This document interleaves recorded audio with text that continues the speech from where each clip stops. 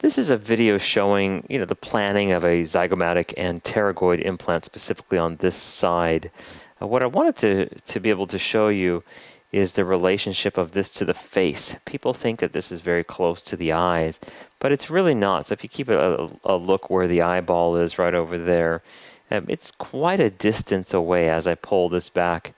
You can kind of get an idea for actually how low the implant is. Remember, the eye is way up into here. So even on some of these x-rays, they look scary.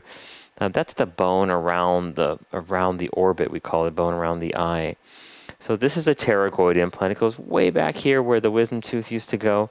And the implant for the zygoma, zygomatic implant, goes into the cheekbone. This patient and I already placed implants into this side on this on the right side. There's a zygomatic. And there's also one engaging into the floor of the nose. That's also called a nasal lift on some patients. But wanted to give you an idea of actually where these things go um, in relationship to our to our face. So it kind of gives you an idea. So the eye is way up high over here. Okay, way way way far away. Although you got to be careful. There's some connections to it. But overall, it's a, it's a very safe procedure. This is the pterygoid implant, and this is the zygo the zygomatic implant.